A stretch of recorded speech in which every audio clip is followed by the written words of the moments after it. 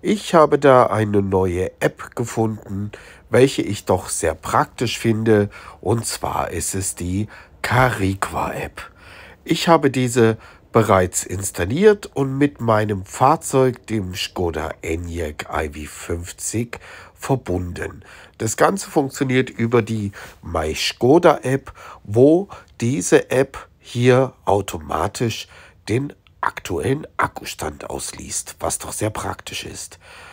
Hier gibt es sehr viele tolle Funktionen. Wenn man zum Beispiel an einer Ladesäule steht, kann man direkt den QR-Code scannen und entsprechend den Ladevorgang starten.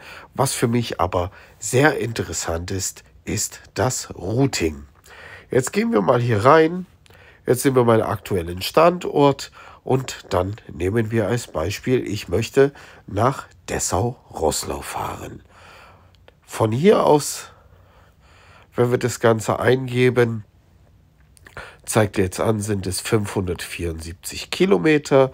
Das Auto für die Reise wäre der Skoda Enyaq iV50 mit aktuell 58% Akkustand.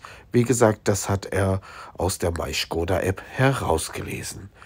Den Ladestatus bei Abreise kann man selbstverständlich noch anpassen, wenn man zum Beispiel das Fahrzeug auf 80 Prozent lädt, was auch sehr praktisch ist. Wir sehen hier einen gewünschten Ladestatus bei der Ankunft. Ebenso in die Berechnung fließt mit ein, fahren wir mit Klimaanlage oder wie viel zusätzlich, zusätzliche Fahrgäste haben wir. Jetzt nehmen wir mal an, wir haben noch zwei Fahrgäste dabei und lassen uns jetzt die Reise erstellen. Das System arbeitet und lädt die Route, wie man sehen kann, und die Route ist fertig. Ich benötige für 749 Kilometer Distanz, vorher waren es über 500, weil das war die Luftlinie. Das hier ist tatsächlich die Reisestrecke. 11 Stunden, eine Minute und sechs Ladevorgänge. Was wurde ausgewählt? Es wurden diverse verschiedene Anbieter ausgewählt.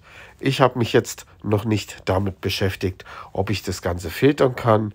Jetzt gehen wir hier mal rein und schauen uns das Ganze an. Wie man sehen kann, wählt er hier Ladestationen aus mit höherer Ladeleistung, wie hier zum Beispiel eine 300 kW Säule. Schließen wir das Ganze. Ionity ist mit dabei und was sehr gut ist, wir sehen bei Stopp, wie viel Ladestand wir haben und wann wir wieder aufgeladen haben. Er plant generell bis 80 Prozent zu laden, schreibt auch die Ladezeit hinten dran. Ich finde diese App doch sehr praktisch. Schreibt mir doch mal in die Kommentare, ob ihr schon Erfahrungen mit dieser App habt oder ob diese neu für euch ist. Ich habe sie schon im Fahrzeug getestet. Unser Skoda Enyaq iV50 hat keine, kein, keine fest eingebaute Navigation. Von daher ist diese App sehr unterstützend für uns, gerade mit einer Ladeplanung.